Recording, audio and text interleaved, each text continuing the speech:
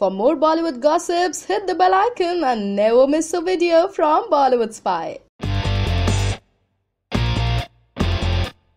अपनी हालिया रिलीज़ बागी टू के साथ टाइगर श्रॉफ ने छोड़ा अपने कंटेम्प्रेरीज को पीछे वेल well, अपने ट्रेलर और गानों के साथ बागी टू ने रिलीज़ से पहले ही मीडिया में काफ़ी बज क्रिएट किया था और अब रिलीज़ के बाद, अपने ओपनिंग डे पर 25.1 करोड़ की कमाई करते हुए इस एक्शन थ्रिलर ने न केवल बेहतरीन एक्शन थ्रिलर्स की लिस्ट में अपना नाम दर्ज करवाया, बल्कि इस रिकॉर्ड तोड़ कमाई के साथ Tiger Shroff next gen actors में से ऐसे पहले एक्टर बने जिन्होंने ओपनिंग डे पर 25 करोड़ के इस मार्क को भी क्रॉस कर लिया।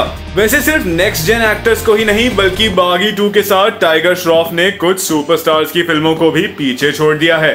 अब बात करते हैं इस फ़िल्म की। तो अहमद खान के डायरेक्शन में बनी बागी का ये सीक्वल अपने एक्शन के साथ साथ अपनी स्टोरी लाइन और गानों के लिए भी काफ़ी पसंद किया जा रहा है।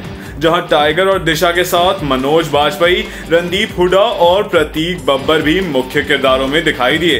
तो दोस्तों, आपकी इस बारे में क्या राय है? हमें ज़रूर लिख भेजे नीचे कमेंट सेक्शन में। बॉलीवुड स्पाई के लिए मैं हूँ आपका होस्ट और दोस्त ईशान।